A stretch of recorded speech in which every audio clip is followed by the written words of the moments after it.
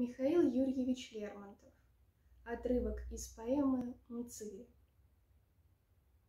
Держа кувшин над головой, грузинка узкую тропой сходила к берегу.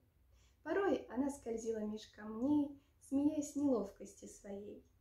И беден был ее наряд, и шла она легко, назад изгибы длинные чедры откинув.